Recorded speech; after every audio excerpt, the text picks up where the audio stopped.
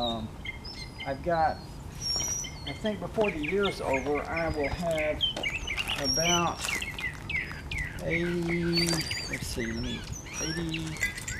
83 or 4,000 lifetime miles. but this is one of those things that I was just trying to improve on what's out there. Um, because if you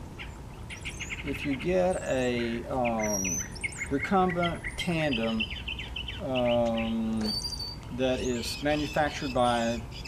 any of the various man, they, they come with a fatal flaw, and that is they're they're built to um, uh, kind of um, size to most everybody, and um, on a like a upright tandem, if you're going to adjust it, you just you're just pushing that seat up and down. On a recumbent, if you're going to adjust for your leg length, you're you're pulling those seats horizontally. And we had a um, store-bought recumbent um, for a while, and Ruth was up front, my wife's up front, and she's small, and so um, I'm in the back, and I there's like two feet between us, and so going up a hill,